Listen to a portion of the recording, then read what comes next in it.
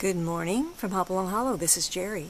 That lovely little building over there was built a couple years ago to become my potting shed and or you know garden shed, and for many years I did use it as such.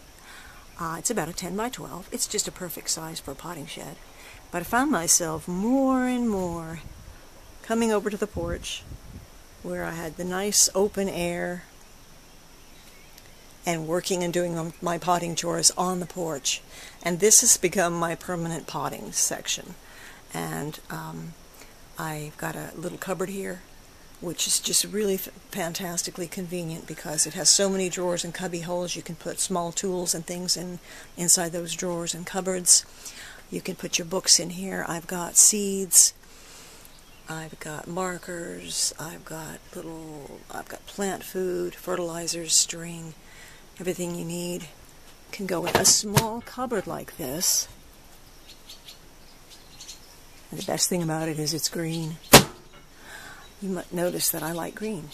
Also underneath, if you have tubs, you can put your soils and mixtures, your watering cans, and right here I have some sweet peas growing in tubs in the shade under the porch because it's going to get very hot here pretty soon and they will not like that. So, and then if you can get a little area to stack your pots, or maybe start roots and rhizomes. These are, hmm, phloxes and dahlias I have going on in these pots. Another cupboard, which was very convenient to use, is this old pantry cupboard. It's got about four shelves in it, and I can get all sorts of items in there as well. So if you have a section in your garden with a little bit of shade. You don't need much room. You just need a cupboard, a work area. When I want to work on here, I just clear this off and use this little enamel um, countertop to pot things.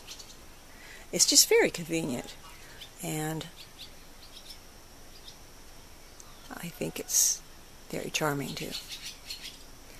So, since I don't use my potting shed anymore, I do have another use for it.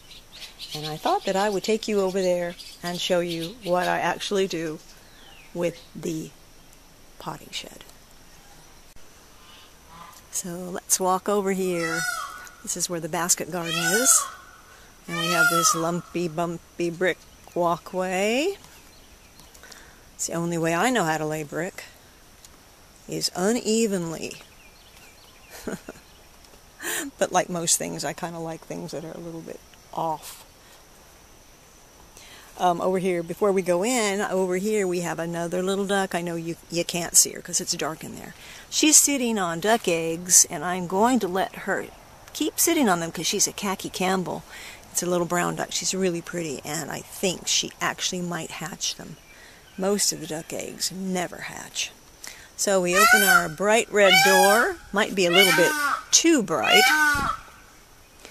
and enter what is not my studio, it is actually my very small shop.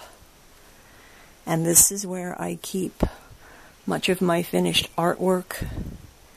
Oftentimes we get people that come over here, um, gardeners, gardening clubs, and people that just want to buy a book or a piece of artwork, and this is where I'm able to take them because then they can see everything all at once. And so I'll show you what I've got in here. My one of my art forms here is called Scherenschnitte, which means scissor snipping in German, and I've done this for 30 years. This is a garden piece. It's a painted paper cutting. If you're not familiar with paper cutting, just look it up and you'll find all kinds of things about it. it. Originated in Germany and Switzerland and came to America with the Pennsylvania Dutch. So this piece is a lot more of a Pennsylvania Dutch style. And I sell the originals, but I also sell the prints. I also have a line of greeting cards, Hopalong greetings, of course.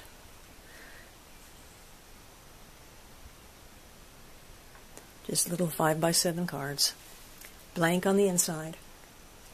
Over here is another form of paper cutting.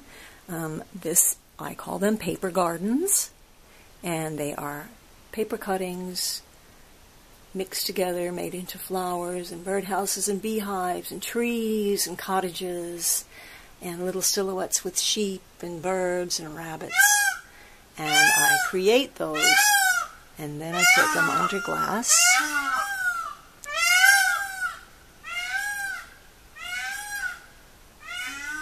And those are my paper gardens. I really like this one. Got a dovecote on the top little birds inside and a beautiful garden underneath.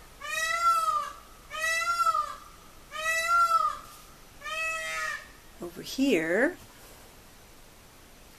are pin cushions. Normally I have a lot more pin cushions than this, but I stitch, and so I love pin cushions. I always have. Many, many people do stitch. Many um, needlework is a very, very popular and wonderful art form.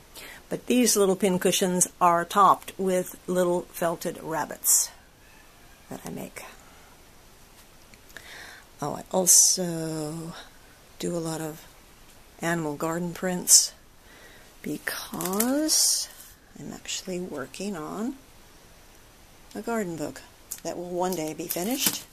It's taking a very long time, what with everything else I have to do. And here are the Hopalong Hollow folk, which I introduced you to a couple months ago when I showed you my badger, my raccoon, and Drusilla P. Possum, who came home from the gallery, and I was really quite glad that she didn't sell because I really wanted to have her back in the family.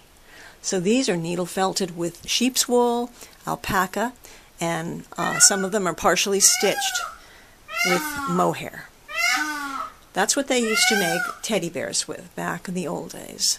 Mohair teddy bears. So these have the look of antique toys and vintage creatures. I do mostly woodland animals, but I also do cats. This is Milo.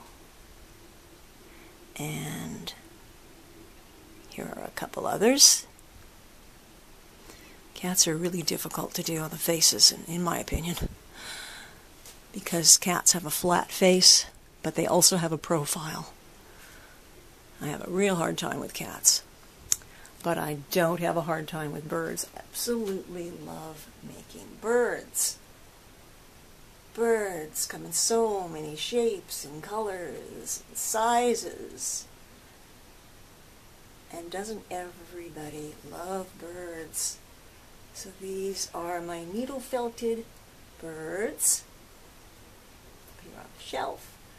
I know the light isn't very good. They're probably in the shadows. We do need to improve the lighting in here.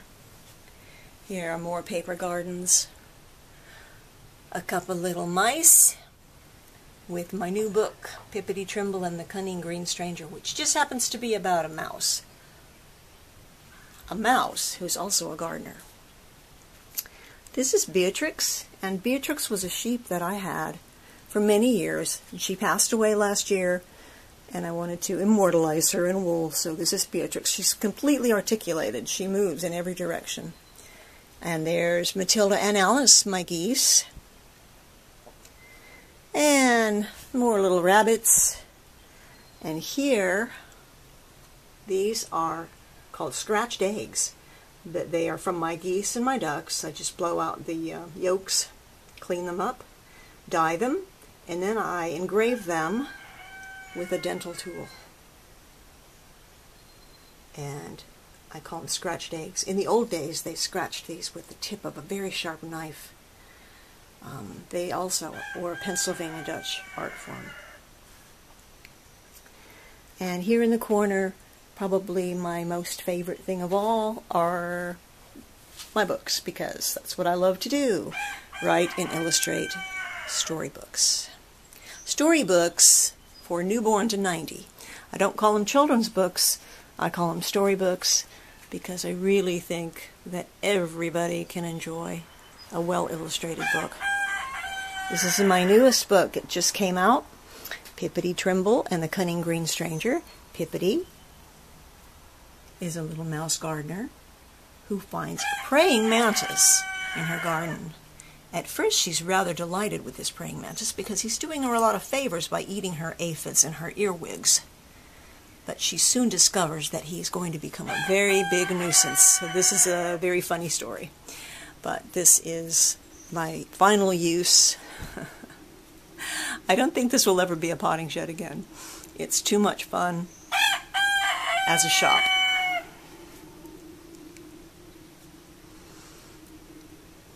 So, what do you think? I think I'd rather pot my plants on the porch anyway and just come in here for a bit of relaxation with my little friends. Right there on the table.